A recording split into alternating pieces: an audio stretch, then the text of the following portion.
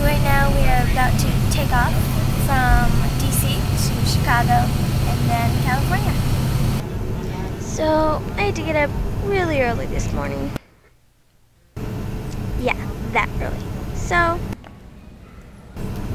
I took a nap in the airport. But turns out airport chairs aren't that comfortable to sleep in. So I would definitely not suggest that you do that. We are heading out of LA right now. It's really smoggy. I don't understand if it's like normally like that. I feel like you can't see the sky or the sun. Yeah, it's kind of weird, but LA is pretty cool. So right now we're on a pier and you can drive on it. It's a really huge pier, actually. There's like shops and stuff. Okay, this is definitely the biggest starfish I have ever seen in my life. Yeah, you can see. I'm holding a starfish. This is very exciting. Oh, it's, it's stuck to my hand.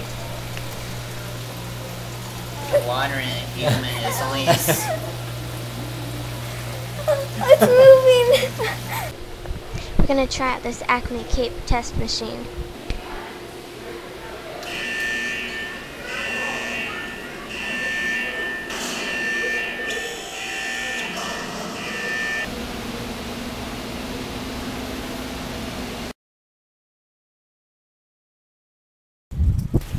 That's our kayak, and I'm gonna go kayaking in it.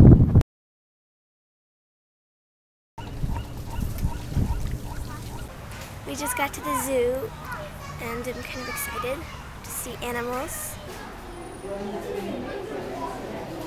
Yeah, that's where we're supposed to be able to see the penguins. Not really, though. Okay, I didn't think that birds normally ate rocks. Is that like a new um, food for them? I'm not sure. That's kind of weird. Yay for giraffes! We are flying over some city right now, and I'm not even entirely sure what it is. But it is not in California because we left there. California was very awesome, and I hope to return sometime.